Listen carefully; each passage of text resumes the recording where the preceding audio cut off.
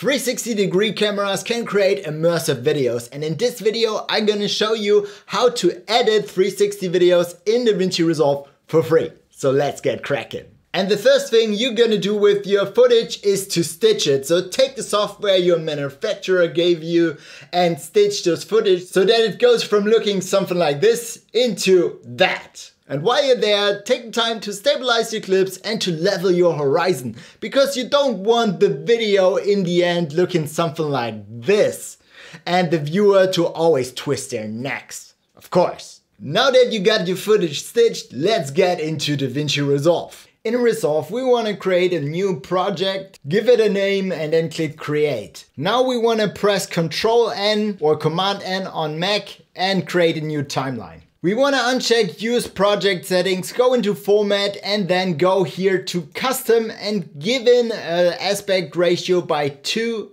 to 1. You can choose between different resolutions. If you have the studio version, if you have the free version, then you only have one choice. And we want to change the timeline frame rate to at least 30 frames per second. Because if people watch them on a headset, they are gonna be 30 or 60 FPS and we don't want to have it stutter, right?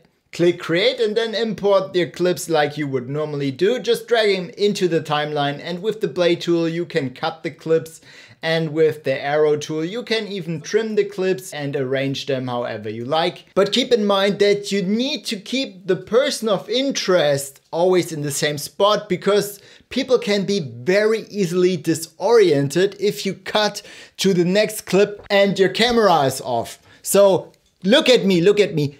Keep doing and focusing people's attention on one spot.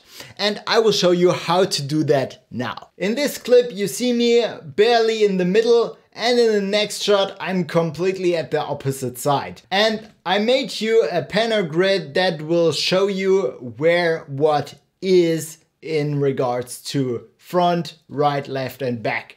And if you want to fix the horizontal alignment of this clip, for example, you can go into your open effects, search for transform and grab the transform effect and drop it onto your clip. And then you can go into the effects and slide the position all the way across. And if you see the black half of it, you can go into the advanced options and change the edge behavior from transparent to wraparound.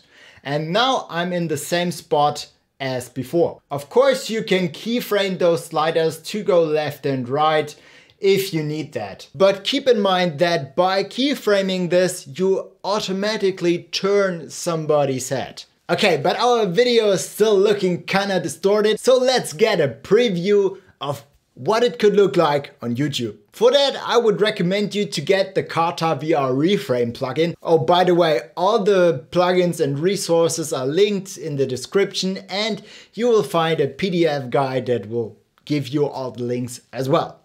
To get KartaVR installed, just go to the Reactor website, download the Lua script and drop it into Fusion. And then look for Reframe and check the box for KartaVR Reframe. DaVinci Resolve needs to be restarted after installing the plugin, so click Ctrl S to save your progress.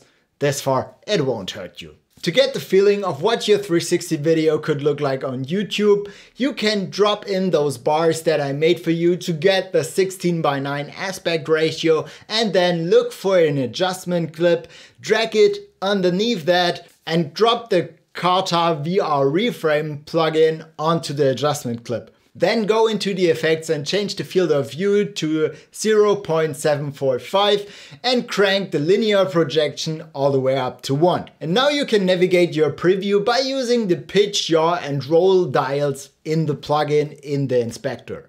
If you like what you added, just delete the bars and the adjustment layer and everything is gonna be ready for export. So let's have a look.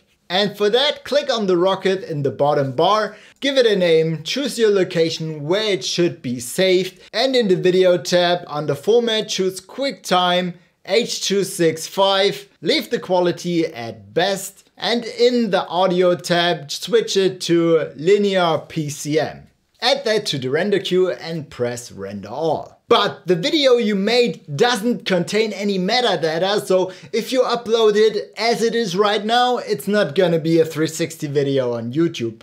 And to get that, you need to install the spatial media metadata injector and run that. Just download the zip file on the GitHub page, unzip the file and open the executable. In the program itself, you can just click on open, navigate to the file that you just rendered and click on open. And then you just check that it's a spherical video and click inject metadata.